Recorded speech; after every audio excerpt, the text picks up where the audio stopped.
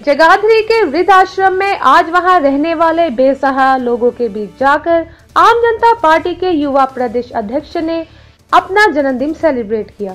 इस मौके पर आम जनता पार्टी के युवा अध्यक्ष ने बुज़ुर्गों के बीच केक काटकर अपनी खुशी को ज़ाहिर किया।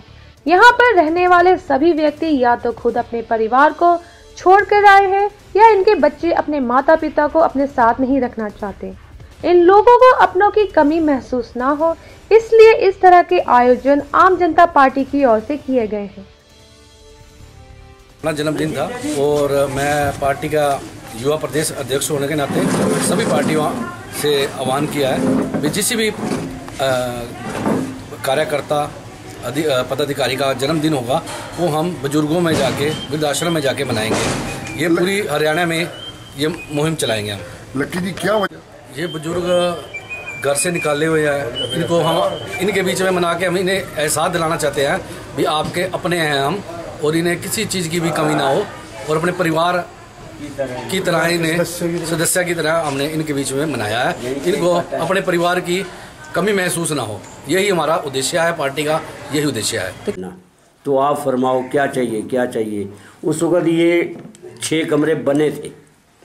तो मैंने कहा, अगर आपने सामान ही देना है तो आप पूछ रहे हैं बार बार तो मैं कहता हूँ, यहाँ बैटरा और इन्वर्टर चाहिए बड़ा, जो कि गर्मियों में दिक्कत होती है। उस हिसाब से वो बैटरा इन्वर्टर लगा गए थे। ऐसे सज्जन बाज दफ़ा आ जाते हैं, उस हिसाब से ज़रूरियात इनकी पूछते हैं, छोटी बड़ी ज़रूरियात। तो हम मांगने नहीं जाते, ना पर्ची करने जाते हैं। जो स्वयं आके अपना वो मंशा जताते हैं कि हमारी इच्छा है कुछ करने की तो वो स्वयं जो लावे हम एक्सेप्ट करते हैं और इनको मिलती है। यमुनानगर से लोकेश कुमार जीवे पंजाब के लिए। हमसे पहले कोई करके दिखाए। जब कहीं नहीं हो समाधान तो आपकी हर समस्या का होगा समाधान यहाँ।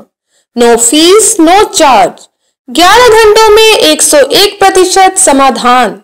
स्पेशलिस्ट किया कराया प्रेम विवाह, सौतन का दुख, प्रेम संबंध, मनचाहा प्रेम विवाह, या वशीकरण, नौकरी या कारोबार। पंडित Mahaguru ji nine seven eight one four six four nine nine two 9779838723